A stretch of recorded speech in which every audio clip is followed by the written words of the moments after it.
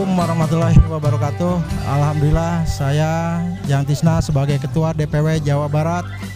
Dalam hal ini saya bertugas juga ikut membantu gelaran DPC Sukabumi dalam rangka Piala Kapolres Sukabumi Kota.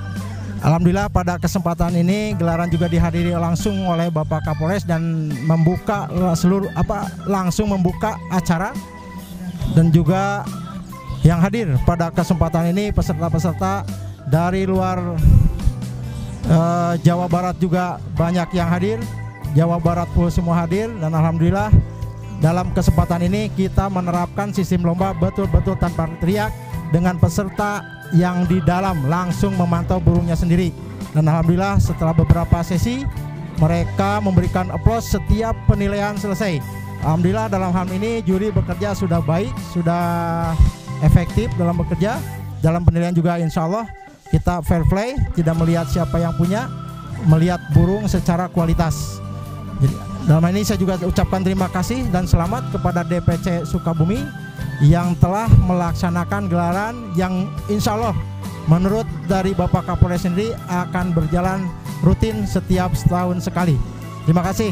Sukses. Ronggalawe pasti, Ronggalawe jaya, Ronggalawe pasti jaya. Assalamualaikum warahmatullahi wabarakatuh.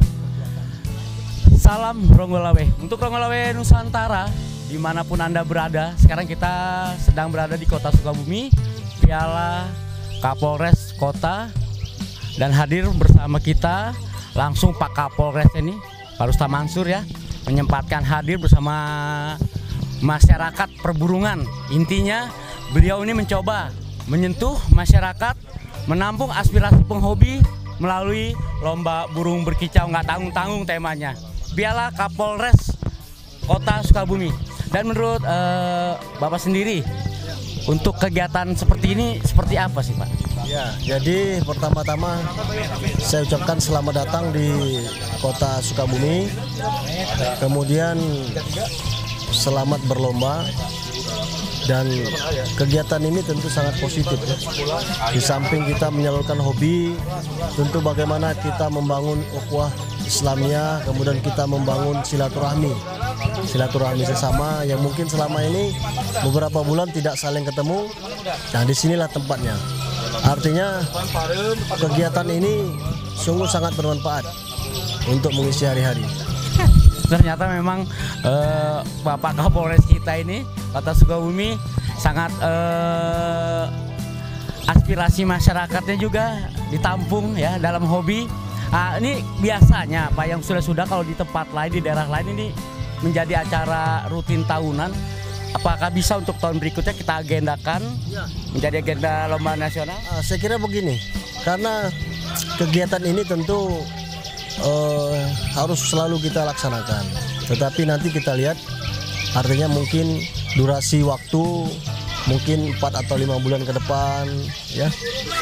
Artinya ini sekali lagi dalam rangka hobi kita tersalurkan, kemudian silaturahmi kita terbangun, masyarakat juga bisa beraktivitas positif seperti ini ya karena sungguh di tengah keterbatasan saat ini hiruk pikuk ya menyangkut semuanya kita mengendurkan waktu kita pikiran kita sejenak untuk iya untuk mengadakan lomba seperti ini. Ah, Bapak sendiri punya koleksi burung nggak? Punya koleksi. Ya di rumah itu saya punya koleksi murai batu, kemudian eh, apa cucak rowo, terus ada lagi kenari, ya itu. Ya jadi turun lomba. Saya juga termasuk penggemar burung juga, ya penggemar burung. Kemarin waktu kita di Bandung juga di Polda juga kita juga panitia itu bersama Pak Haji Arif ya. Oh iya iya iya Haji Arif kebetulan salah satu pembina pusat kita itu. Ya, jadi saya kira ini ya sangat baik lah, sangat baik.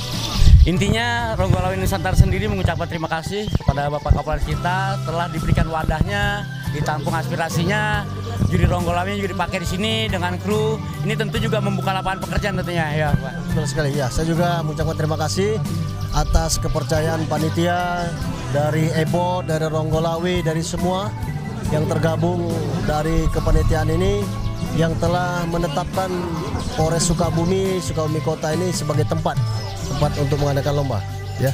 Harapan saya ke depan ya tiga bulan empat bulan lagi kita adakan lagi Hmm, luar biasa. Ini rutin bukan tahunan lagi, mungkin per tribulan gitu ya. akan kita adakan lagi. Intinya terima kasih banyak Pak Kapolres. Semoga sukses acara di sini.